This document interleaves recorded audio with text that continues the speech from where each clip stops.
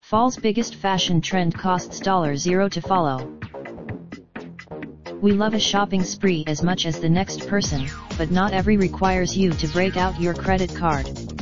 Some actually, one-color ensembles were all over the fall 2019 runways, and frequently in Instagram. The good news, if you've already matched your shirt to your pants, add a hat or handbag for a little more oomph. This trend makes even oversized sweatshirts and yoga pants feel elevated. An easy way to achieve the look?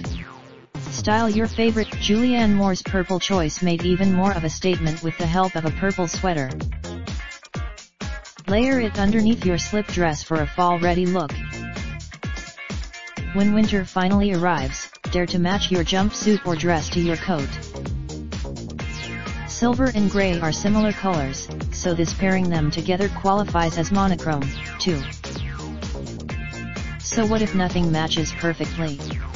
Wearing various shades balance out your outfit by wearing a solid colored coat, just like Jennifer Lopez. Go with a graphic tee instead of something neutral and structured. Style matching sets with items that are a shade or two lighter. It's a classic, no-fail option. This trick becomes even easier to figure out when pieces are the same color. If you're able to find one that perfectly matches your look, it creates a cool, uniform vibe. When your staples are all the same shade, they seem anything but boring. Just another way to take things up a notch. An all-neon outfit is perfect for the final days of summer. The neutral seems slightly bolder when styled with other beige pieces. If you're not willing to go all out, add a bright bag and use it as your statement piece. Fuzzy or lace details are another fun way to zuzz up a one-color outfit. The best part about this trend? There's no such, an easy, 5-minute style solution. Matching your shirt don't forget about belts or even the design on your socks. Different shades of yellow and orange pair well with leopard print and lighter browns.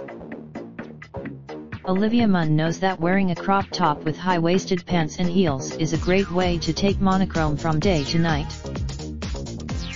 Just layer how you normally would while keeping it all one color.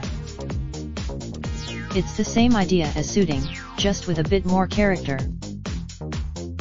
And don't be afraid to add something sheer.